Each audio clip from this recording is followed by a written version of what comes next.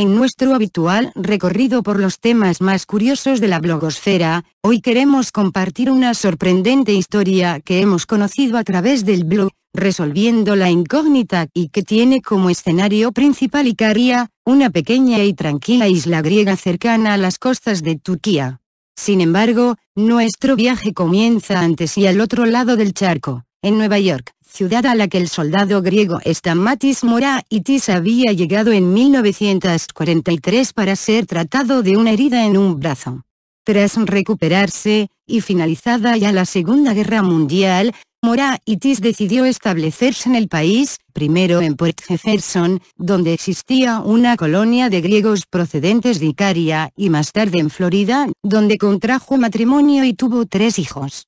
Todo parecía perfecto en la vida de este emigrante griego, hasta que un buen día de 1976, descubrió que le costaba respirar y subir una simple escalera se convirtió en un reto casi imposible. Asustado, acudió al médico quien, tras ver las radiografías concluyó que padecía cáncer de pulmón. En los meses posteriores, otros nueve doctores corroboraron el diagnóstico.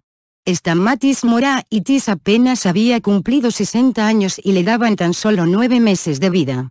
En lugar de permanecer en América, y someterse a un tratamiento agresivo que le permitiera permanecer unos meses más junto a su familia, decidió regresar a Grecia y pasar sus últimos días en Icaria, su isla natal. Su deseo era ser enterrado junto a sus padres, cerca del mar Egeo en una ceremonia que apenas costaría 200 dólares, frente a los miles que tendría que desembolsar su viuda si falleciera en Estados Unidos. Poco tiempo después, Stamatis y el Piniki Moraitis se trasladaron a una pequeña casa blanca rodeada de viñedos en el norte de Icaria, en la que el primero esperaba pasar sus últimos meses de vida junto a sus padres. Al principio, pasó unos días en la cama, mientras su madre y su esposa lo cuidaban. La cercanía de la muerte le animó a recuperar su fe y cada domingo se acercaba hasta una pequeña capilla ortodoxa donde su abuelo fue sacerdote.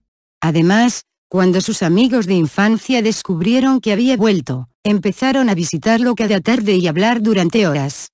Con el paso del tiempo, lejos de empeorar, comenzó a sentirse más fuerte. Se atrevió a plantar algunas verduras en el jardín, aunque no esperaba vivir para recolectarlas.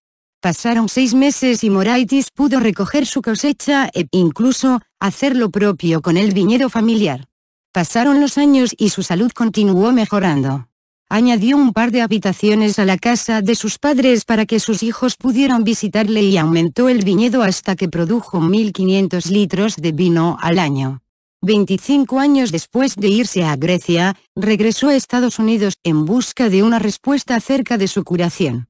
Sin embargo, descubrió que los 10 médicos que le habían diagnosticado un cáncer terminal ya habían fallecido. Él, en cambio, vivió hasta el 3 de febrero de 2013. Tenía 98 años, aunque le aseguraba que eran 102, y en su cuerpo no había ni un solo rastro de la enfermedad que le habían diagnosticado casi 37 años atrás. Lo más probable es que la misteriosa curación de Moraitis se deba a un diagnóstico erróneo. Sin embargo, durante mucho tiempo la esperanza de vida de la población de Icaria ha superado ampliamente los 90 años de edad. Quizá la razón sea la combinación de una vida tranquila y los beneficios de la auténtica dieta mediterránea.